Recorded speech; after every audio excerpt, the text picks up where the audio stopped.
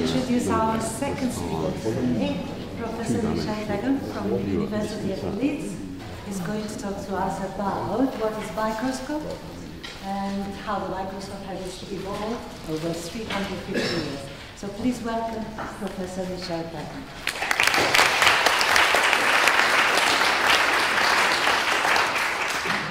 Well, like any good microscopist, I've brought my microscope with me, so I'm, I'm, going to pass this around. This is actually one of the earliest microscopes. It's, it's, not actually a real one because I can't afford a real one. But this is a replica of the Leeuwenhoek microscope, which I'll talk about in a minute.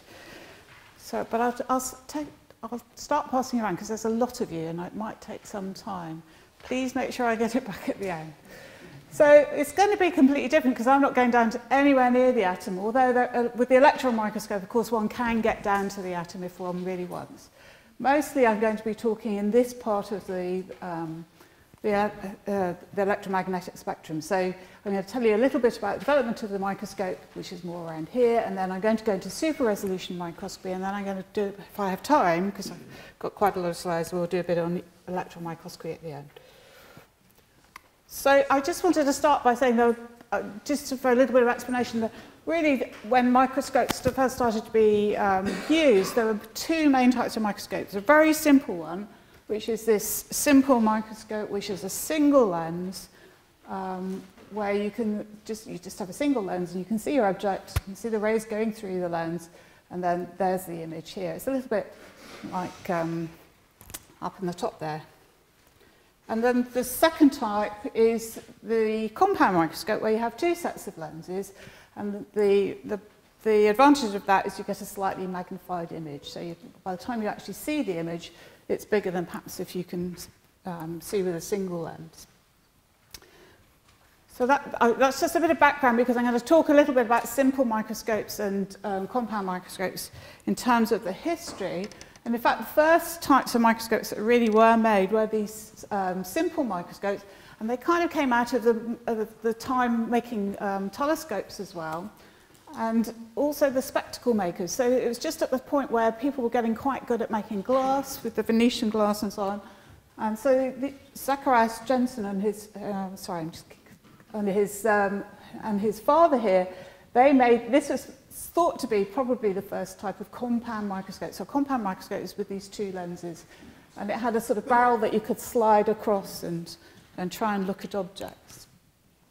And in fact, that became much more famous, and I'm sure you've, because it's be, recently been the anniversary of the of Micrographia, the publication of Micrographia, and this is Robert Hooke. Now, it isn't really Robert Hooke, it's a, a drawing because, in fact, Robert Hooke fell out with Newton, and Newton had all the pictures of him destroyed. So this is a, a, a potential picture of Robert Hooke that, from, from descriptions of him.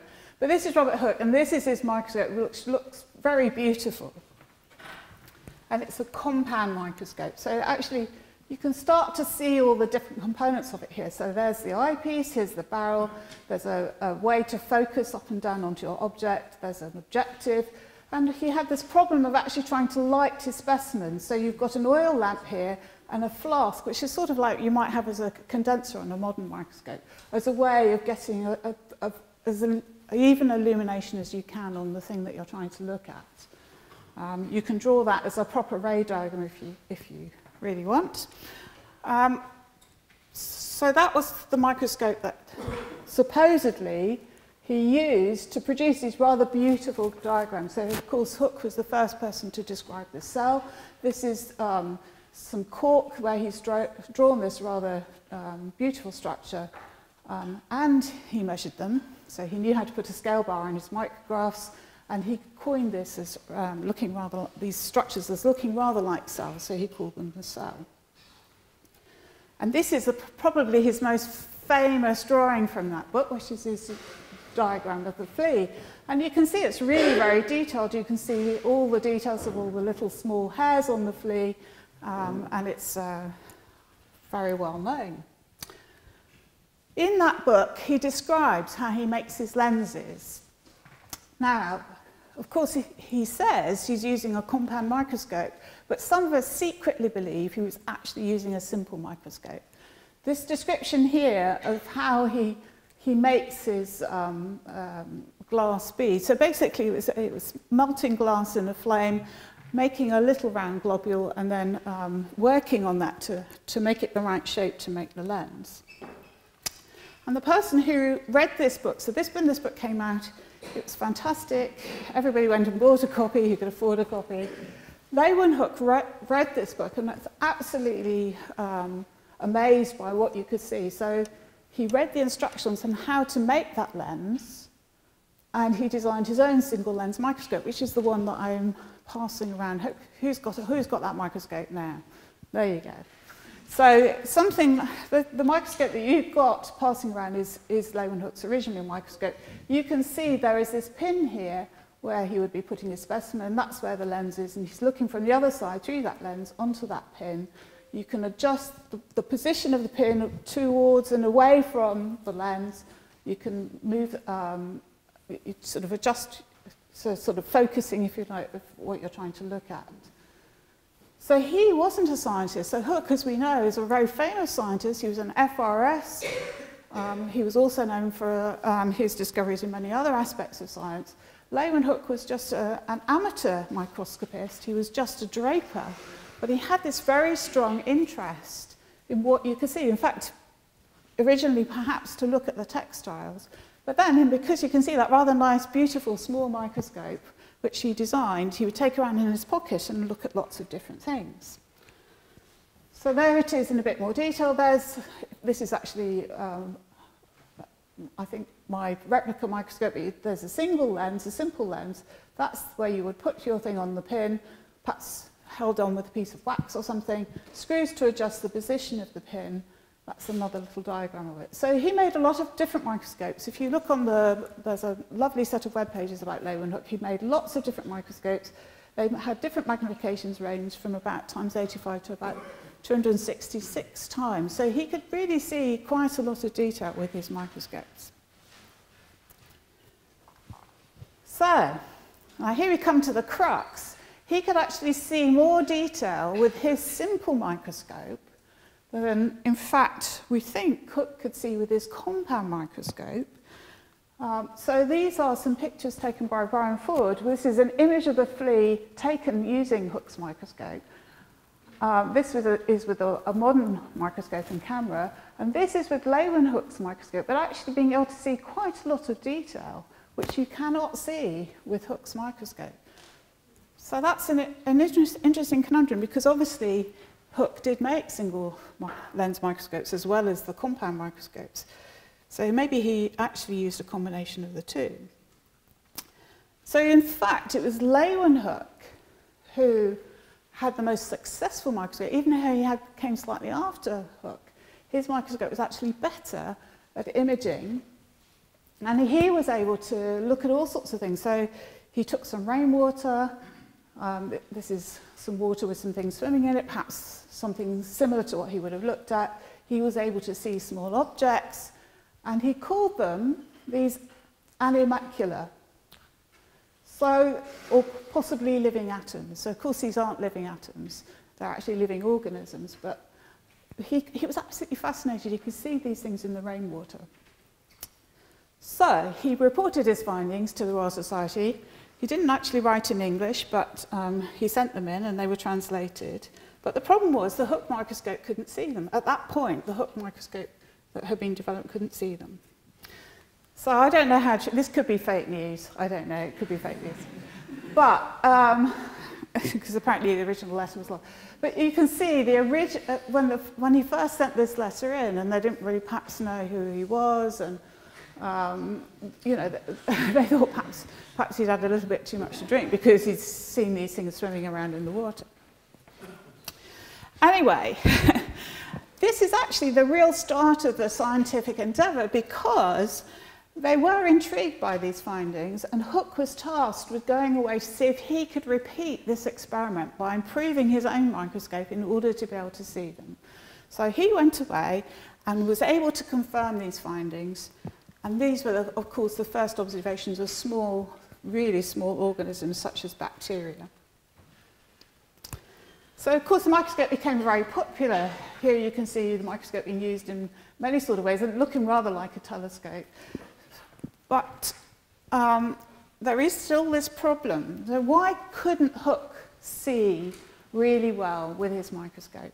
And the problem is the lenses themselves. So the lenses themselves have two problems with them, two main types of aberration that we worry about even now. One of them is spherical aberration, and the other is chromatic aberration.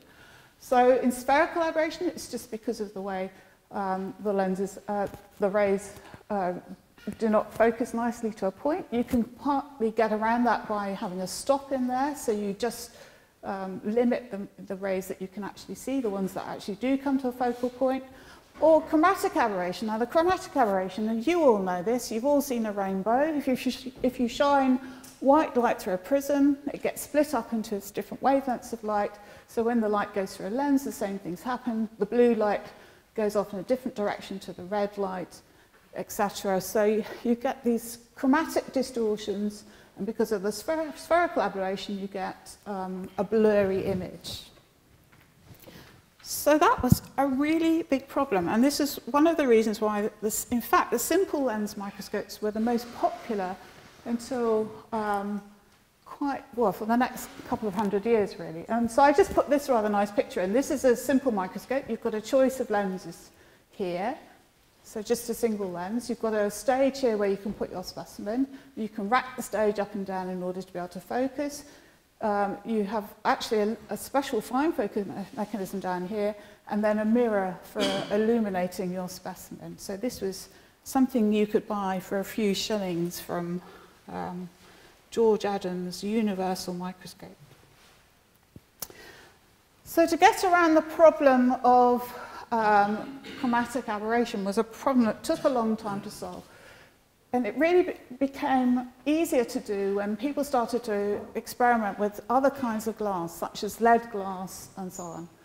And also the realization that you could put um, um, a convex lens next to a plano convex lens, and that would also help in, um, uh, in correcting for um, these kinds of aberrations. So in fact, it was Lister who um, was playing around with this, um, and he, he made um, a combined achromatic doublet um, compound microscope where he, he did manage to correct somewhat for chromatic aberration. But there was still a problem that you can't see a lot of detail because the best you can see the resolution which you're going to come on to was only about a micron. So this, we're starting to get into the 1800s. I was very struck by the last talk and where this seems to be where really um, the story of the atom's taking off as well, because this is a big, um, of course, um, increase in our scientific activity. And I just wanted to mention this. I'm the current president of the Royal Microscopical Society, and the Microscopical Society started in 1839, and it was basically a bunch of blokes who went down around this house to have a bit of a chat about microscopes. Um, and, and this Quekett, there is still a Quekett Society, which is for amateurs. Um, we're, um, we're a Royal Society for looking at microscopes. And, the, and they did, you know, they commissioned microscopes and so on, and they got their Royal Charter in 1866. So a couple of years ago, we had our 175th anniversary.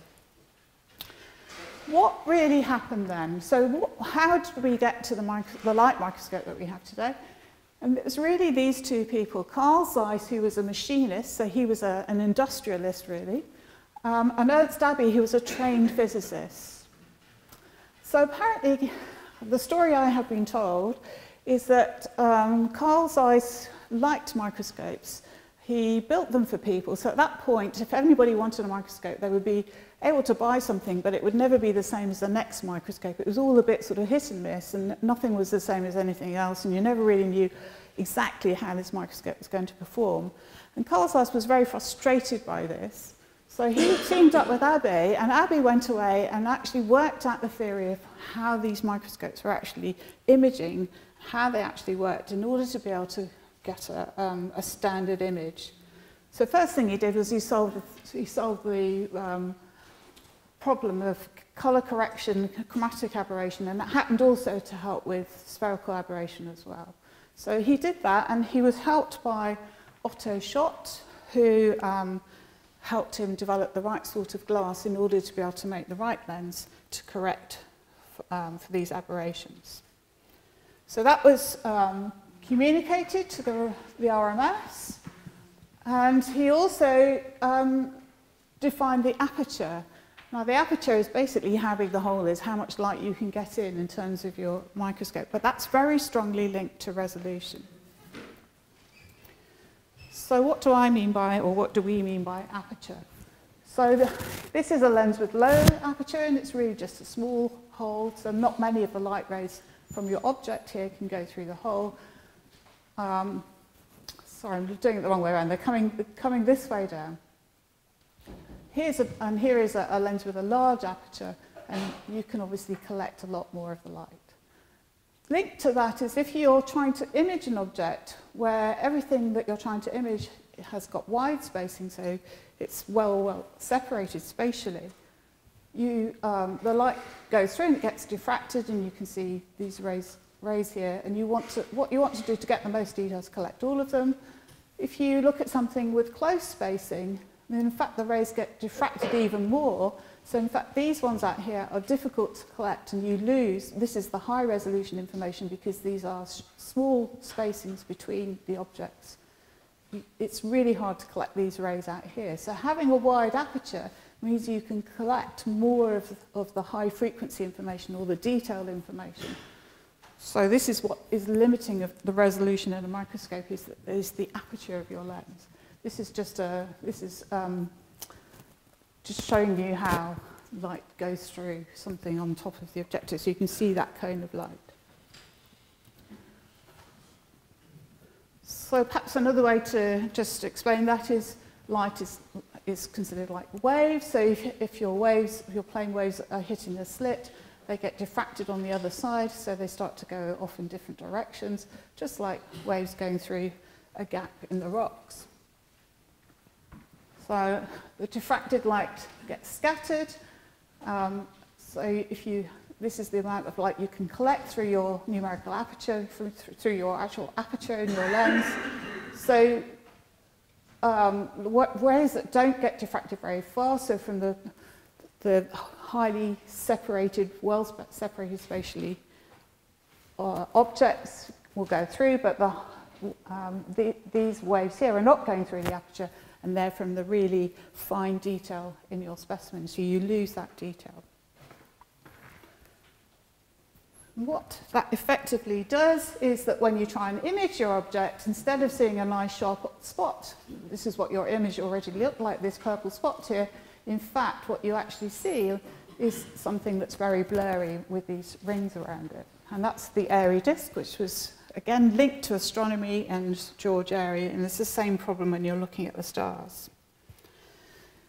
So we come up, so Abbe came up with this very uh, well-known um, relationship between the distance between those two points, so how well, spatially, how well separated spatially your two points are, the, the distance there, linked to the wavelength of light and numerical aperture underneath. So the, the bottom line is you, your resolution can never be larger than about half the wavelength of light. So that is our physical limit. We cannot see anything smaller than that. And just to demonstrate this again, if you look, think about that blurry point there, um, and that's just plotted as a Gaussian because we're now looking at a camera, so we can do, um, we can actually look at the change in intensity as you go across there, plot that. If, if you have two spots very close together, you can just about separate them.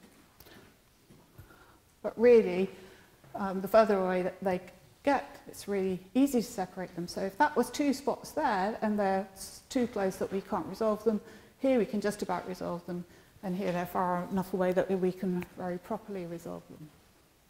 And we, so we can only resolve um, based on um, how blurry that spot is and how, felt, for how um, well separated the, the two spots are.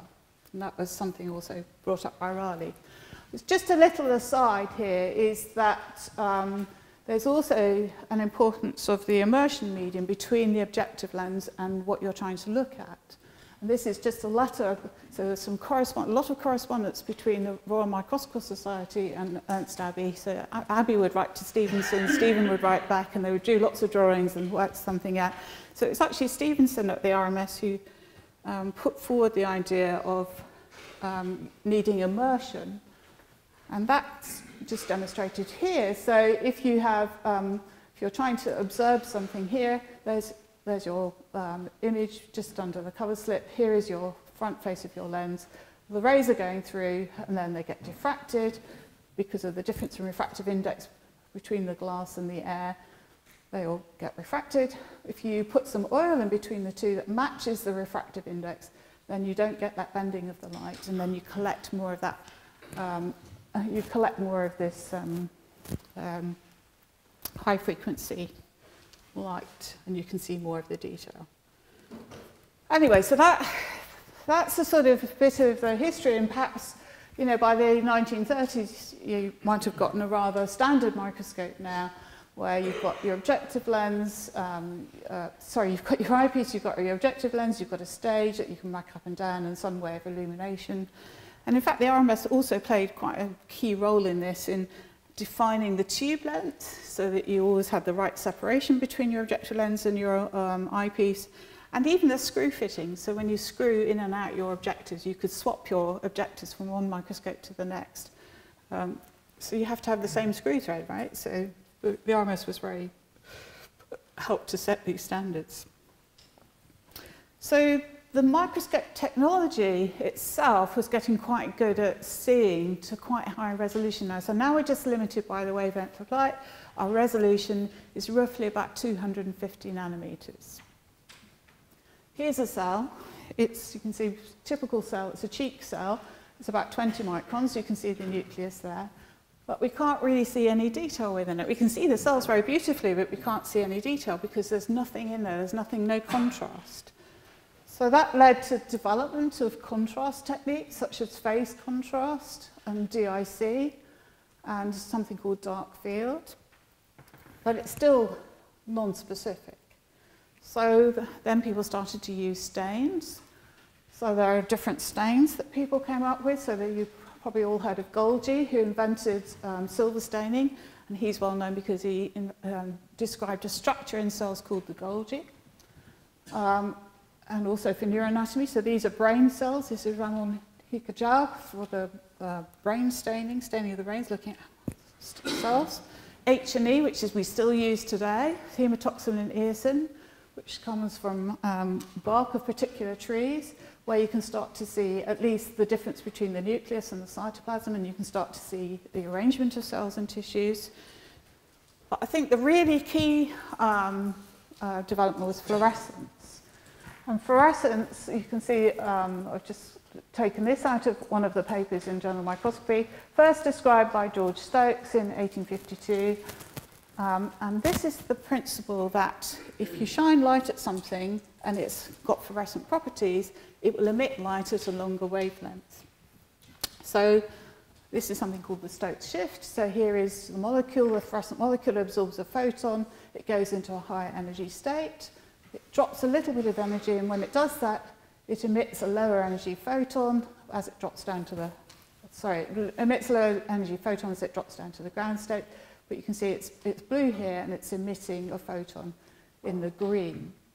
And the, one of the dyes that was around at the time was, was fluorescein, and you can see here's a jar of fluorescein. It absorbs the blue light, and it fluoresces in the yellow and the green. But actually, the first fluorescent molecule that was discovered, you can do this at home. You could get your blue laser from Amazon and uh, you can do exactly what I've done here. Usually I bring my tonic water or my gin and tonic with me um, and I get my blue laser out. But this is just a blue laser going through tonic water. This quinine tonic water is fluorescent. And if you um, just have normal water, um, it's not. You can just see the blue laser going through. So then, if you combine, I mean, this is sort of fast forwarding a few years now, but if you combine fluorescence, if you can label something like an antibody, which will recognize a specific protein with fluorescence, then you can actually work out where a particular protein is in a cell. So you start to see a bit more of the detail. Now, epifluorescence microscopy took a long time to really establish because the, you'll notice normally um, so everything, I think, in terms of the microscope at the moment is we have a condenser down, sorry, we would have a condenser up here, we would shine our light through, um, to think which way around it is. No, sorry, it is down here. The condenser would be down here. You shine your light through the specimen, you collect the light through the objective, and then you'd see it up in the eyepiece here. But with the, the problem with epifluorescence microscopy is you need to be able to block the, the excitation light and only see the emitted light. So that took a while to solve, and eventually it got solved, not until the 1960s, in fact, with um, this method that we all use now, where you shine your fluorescent light through the objective, um, and we have a dichroic mirror here, and then the emitted light goes back up through the dichroic mirror and through a barrier filter, so you block the excitation light and only see the emitted light. And that um, so there's, and that in the bottom there is the little dichroic mirror. So that's solved um, being able to see fluorescence really easy without any nasty background. But the next problem to solve was this, and this is, um, this is the plane of focus where we're trying to see our object. And outside and below are all these fluorescent objects in, in free space. What we want to do is see these objects, but not these ones. So how do we get rid of that out of focus fluorescence. And that was a, an invention called the confocal microscope. That was Marvin Minsky in 55. And this is the, the procedure. So here is our object being imaged, and if you follow those light rays, you can see it goes through this, they go through this pinhole here. But these rays down here, which are out of focus, are blocked by the pinhole. They go off, they, they actually land just to the side of the pinhole, so they, they can't go through the pinhole. So only um, objects actually in focus can be imaged and you get rid of that nasty out of focus fluorescence. So these are two bits of terminology. Then this it might be a standard wide field microscope. Perhaps many of you might have one of these or access to these, where this is the more sophisticated confocal microscope. And hopefully they'll play. So you can just, this is just a, um, I'm going to come to GFP later, but this is a fluorescently um, label protein in a live cell, and you can see how it's recruited to particular structures here and moves around um, vesicles and so on inside the cell. And uh, here, in fact, there are two labels, but you can see these green vesicles again, and you can just see they're a little bit sharper than they are here, and you've got less of this blurry out, out of focus background fluorescence. So of course, you know, then lot people started to make lots of different fluorophores. In fact, this is still happening now. People are still inventing lots of different kinds of fluorophores. So we can label our cells with multiple things. So here is a cell labeled in green for one protein, in red for a different protein, and with a dye for DNA. And then you can combine that into a rather beautiful image of a dividing cell, and you can see where the different proteins are. But as, as you might think, well, that's, this is actually a fixed cell. What happens in, in a live cell? How do we get rid of that autofluorescence? Well, of course, we can use confocal. I just wanted to briefly mention this technique. This is called total internal refraction fluorescence microscopy, which actually makes use of the fact that light rays get um, bounced back. And you, if you have a high enough angle of your incident light, it just bounces back rather than going through your sample at all. But there's a little, what's called an evanescent field here, and all of this stuff here you can't see. It doesn't get any light to make it fluoresce, but you can see in this very narrow, about 100 nanometer um, region here, you can see the fluorescence, and so you can start to image single molecules. This is, this is a molecule moving up and, and down the structure inside a cell to the end where it's accumulating. So we can look in live cells, and the reason why we can look in cells was because of this. And this really revolutionized looking in live cells. Haha, that's where I'm going to run out of time. GFP. So GFP comes from um, the um, jellyfish. There are lots of fluorescent proteins now. You can label your proteins with anything, and you can look in multiple colors. Okay, well, I'm going to really run out of time, massively I'm going to very briefly talk about this for one minute then. We, we have this resolution problem. Um, what's um, a Nobel Prize that was won uh, last year is to use different types of microscopy that get over that resolution problem. One is to use structured illumination, which basically change, halves the frequency of the um, emitted light effectively. So everything that you can't normally see because it's too high frequency gets halved and then you can see you get double the resolution. There's a, a process called STED, which uses a donut laser in that confocal type of mode to reduce the size of the point spread function or that blurry spot. And then the blurry spot becomes smaller, so objects can become closer and you can see those. And then there is something called PALM and STORM, which is a trick where you can switch on fluorescent molecules one at a time. And then because you can very accurately know where those molecules are, you can um, make a, an image sequentially. So it's almost like a join the dot picture. You image one molecule in one frame, and then, then another molecule, and then another molecule, and then another molecule, and um, push it all together. So let's see, I've got a little, that's a little animation of that.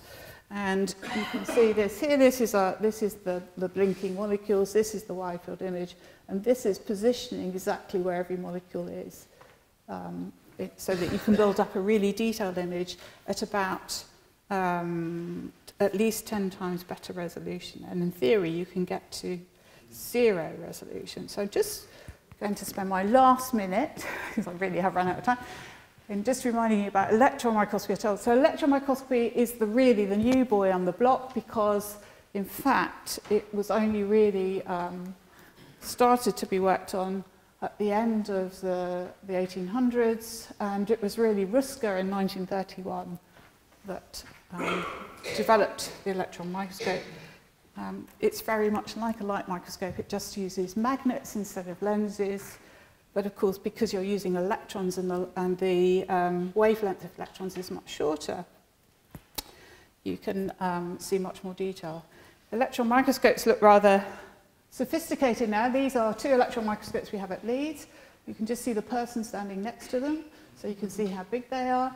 And you, if you look inside um, the guts of one of these things, they look extremely complicated, but you can see a lot of detail with them. So this is what we can see with the super resolution image. This is a, a protein that was um, investigated by one of my colleagues. This is what the EM image of it looks like. So you can see that we can see even with super resolution being about 10 nanometer roughly resolution on average, here we're seeing a lot more detail. Here are nuclear pores that we can see here as a confocal image. This is the, the approach that I mentioned. You can see how everything becomes much sharper. But this is what you can see if you go into the electron microscope and you can actually build atomic structures. So cryo-EM is now so advanced we can actually build atomic structures into, into these proteins. So it's good that you put my three minutes up because we all knew we had too many slides. um, But um, I, I, again, it's just to remind you the, the sort of typical um, types of things we might see with a visible microscope are a few microns, but with super resolution now we can get down even perhaps to about a nanometer, but of course with the electron microscope and the fact that we're using electrons as our light source rather than um, light, we can, can get down and even see, as we saw in the previous talk, you can see pictures of atoms, but certainly we can see through cryo-EM, um, we can see structures of proteins and we can work out how, how the um, amino acids in those proteins are organized. So that's it. Sorry, that was a bit of a whirlwind tour, wasn't it? Thank you. Thank you very much.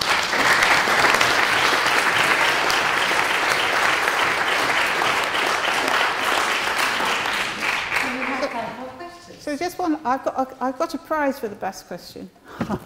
this is actually a, a, a, what's called a Foldscope. So this was um, invented by some people in California, and it's to try and get a microscope into everybody's lives. That's everywhere, anywhere. These cost about a pound or something.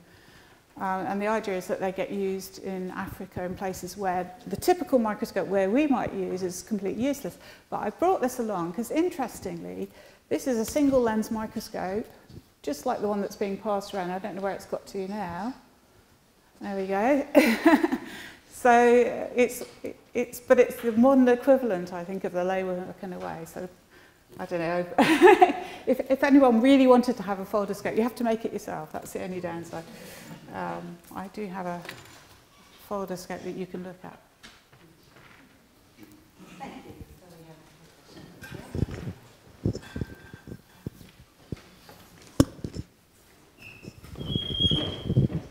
Uh, I just think it's worth a mention the other half of the microscope world, those of us who look at solid things with, with reflected Material light. science. Oh, yeah, yes, yes, yes, true. The metals are not transparent, so. No, no, no, no, no. But an awful lot of the same principles still work. Um, people do. I think even use confocals to look at material science, don't they? Yes, absolutely. I'm a biologist, right? it's going to be biology focused.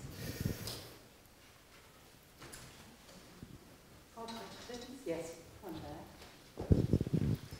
Um, I'm interested in uh, wh- why why do people uh, choose certain colours for certain proteins? What, is it do they, do they are you are you thinking of the other colours in order to kind of make them stand out more, or what, what's the what's the logic behind the colour choice? Uh, when I put the multicolour Yes. image up, you mean? Uh, no logic at all. So we can put, make any protein, any colour we like, because the proteins themselves have no colour. We're just choosing which fluorescent dyes No, to I put understand on. that. Yeah, I- Yeah. I just wondered if if you're looking at certain colours that stand out more, or from one another, are you is there kind of uh, some visual logic for that? Um, there can be. I mean, we so for example, in that image, the DAPI, it's a DAPI dye that's, that binds to the DNA, which is um, a short wavelength emitter. So that would normally be, we'd be using blue, if you like. It would. Um, and then the green would, would be what we call a 488 dye, so it's emitting in the green. And um, the red is a, a red dye which is emitting in the red. So in other words, we tend as microscopists to put the image up sort of that reflects what dye that we've actually used to label it. But I could have swapped them around. Yeah. I could have made the green red and red green. I, I mean, I could take them into my favourite Photoshop program and, and make them purple if I wanted. I mean, I can make them any colour I like. It's, it is more partly to make it a, visually appealing, but also easy to see the detail. So even what I stain with them, I don't have to. If I stain it in the red, I can show it in the green. I can show it in whatever colour I want. Yeah. Hi. I'm interested in this idea of resolving something and when it's binary, like you can and you can't, or it's a continuum, and how that evolved over time. So you didn't really talk about photographic plates. So photography, I assume, becomes important because instead of doing a line drawing, I had to cut where people say they can Yeah. you know, do it, or photography means that you can try and say something on this continuum. But I wonder if you can comment about that because that seems to be where a lot of controversy lies so, so the physical limits on resolution do come from the physical properties of light, your microscope. So actually, we are still stuck at 250 nanometer resolution. The SIM approach, which uses this pattern to bring the high frequencies that we cannot normally see into a lower frequency, is the only one that truly, truly breaks resolution. The STED does it by a trick because it, it makes the... I, th- I think I'm just interested in the historical perspective. Well, so so that, that is the history is in in the late 1800s. Abbe worked out the theory, and it, that didn't change for a hundred years until people thought, why are we stuck with this limit? And then starting in the 70s, 80s, people started to work out how they could overcome that limit. But, in, but it's, trick, it's trickery. It's not a real, I'm saying we are actually still stuck with that limit. It's trickery, and we have ways of overcoming it, but it's all by using tricks with fluorescence or I had a question about time resolution. So you've spoken about static images, but um, is there sort of development of seeing how things happen in time, and is that also depending on what scale you're using and what method? Or? Yes, that's that's a, a very good question. So actually, just to slightly, because just to slightly answer that last question. So the resolution, there is, you know, you have to use cameras, and cameras have a certain pixel size, but it's that's that is irrelevant to actually what your resolution is. The time resolution is a good one because, of course, now these days we, we are using. So in your phone, in your camera, you will have a CMOS chip in your iPhone or your Android phone or whatever you've got, if you've got a smartphone. That CMOS chip is the same as we use in a lot of cameras. Um, we use a scientific version of that, which is slightly better. Um, it, it's more uniform, etc. Um, so you're limited by how quickly you can collect the photons, transform them into electrons and do your readout. CMOS chips are actually very good at that because they collect photons and they read out in a particular way that means they're very fast. So they can go up a frame rate of probably something like 200 frames a second, which is very fast. We also use another type of camera which is still pretty fast, it's still 50 to 100 frames a second. So that's the kind of, kind of time scale you can go up to. Mostly what we want to watch doesn't go that fast. and the other, the other thing is that it's a bit like the Schrodinger's box thing. The more you watch, the more likely it is not, to, you know, to have a different bit. In fact, if you, if you, if you keep, well, it's not really like the Schrodinger's box, if you, if you watch something, you're shining light on it all the time. And the big disadvantage with the fluorescence is it tends to bleach. So you lose your signal. So if you do go for 200 frames a second, then by 200 seconds, you know, by the end of the second, you might not have very much light left. So, so I don't know if you know, in the, in the TIRF image I showed with the little molecule going along a structure, it, kept, it was on a loop and you could see it getting dimmer and then getting brighter again and then getting dimmer. And that was simply because we were watching it, in that case, at about 40 frames a second. And as you watch, it gets dimmer. But that's the sort of time resolution. When you, interestingly, for the cryo-EM, Um, we also take movies now, so um, so most of the EM, the high resolution stuff that was showing right at the very end is done in cryo, and that's done with a very similar sort of camera, another sort of CMOS camera, and you actually take a movie. So you you image your sample and you take a set of frames, because when you first shine your electrons on your cryo structure, there's a little bit of melting and a little bit of movement, and then you have some frames where you're where everything's nice and stable, and then eventually your sample gets destroyed by the beam or starts to degrade.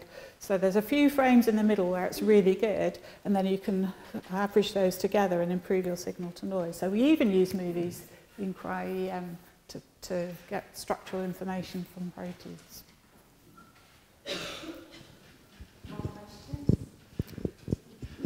Uh, yes. Um, about 30 or 40 years ago, um, Professor Birch at Bristol and Imperial was working hard on deep aspheric for the UV, uh, driven by the, if you like, the biological sciences. But also in parallel, of course, we've had uh, 10 nanometer resolution in microelectronics with in the UV. Um, simple question, why has that not transferred to uh, biological studies? Um, it's because cells don't really like UV light. I mean, I I if you want to do live cell imaging, um, UV is a real problem because cells don't survive it very well. So if you illuminate with, I, I suppose the other thing is the availability of dyes and so on. If you're, so there aren't so much choice for dyes in that region of the spectrum, they tend to be more into the visible spectrum. Okay, let's go up to a factor of two in wavelength and then stick it blue and just make the optic twice as big. Yeah, I mean, it's a very good question. I, I, I think, I think it's, again, probably limited by the performance of the dye. So, for example, for the, for the um, when we're doing single molecules for doing, um, where we do this technique where we can switch molecules on and off in order just to be able to see one fluorescent molecule and work out very precisely where it is, you would think that the UV would be best for that. And in, in theory it is, but the best dyes are all at 647 nanometers. Um, they seem to have the best characteristics for this blinking behavior that you need in order to be able to switch the dyes on and off. Whereas we don't have any UV dyes that have that behaviour. So it, it, it just shows you how it's not just the microscope, it's not just the wavelength. There are other considerations like how well the dyes perform in terms of a particular I have, application. I have a suspicion it's actually just the huge demand that the microelectronics industry can, can bring to bear. Uh, I mean, about a decade and a half ago, I know they were using uh, monocrystalline UV lenses and one of my students, he worked for Carl Zeiss, happened to mention it was called the 24. And I asked him, what did the 24 mean? Oh, well, the customer demands them in inches. Oh, really? That's a single, that's a two-foot diameter lens from a really? single crystal uh, really? transmitting it around 200 well, nanometers. So really, it can be done, yeah. but it, obviously there's got to be enough zeros behind the so, dollar sign. So, well, so that's the other issue. So, so there is um, another type, so there are an absolute plethora of different sorts of microscopes now, and I didn't have time to talk about all of them. One of them uh, was designed in, in Glasgow where it's called the Mesolens, where the lens, I've seen it, is, because normally lenses are about this big, this lens is about an inch across, I think. But they had to have that specially made. And um, so the advantage of that, that lens is it's got a really big field of view. So you can see a whole um, Drosophila embryo or something in, in one picture. Whereas with a confocal, we would have to take a little picture here and then one here and then one here and then stitch it all together. With the Mesolens, you can see the whole um, embryo in one shot because the field of view is so big, which is lovely. But they had to have this lens specially made Um, I, I think if you wanted to buy them, I don't think it's commercially available now. You have to, if you wanted to do it, you'd have to go to the same company and get this lens made for some significant amount of money. And it was a significant challenge to actually make it, of course, because you still have to get around spherical aberration, chromatic aberration, and other kinds of aberrations in order to be able to make that lens. So that when they made it for, the, for this researchers, they said, we can't guarantee that we'll actually be able to make this lens for you. Many thanks very, very much.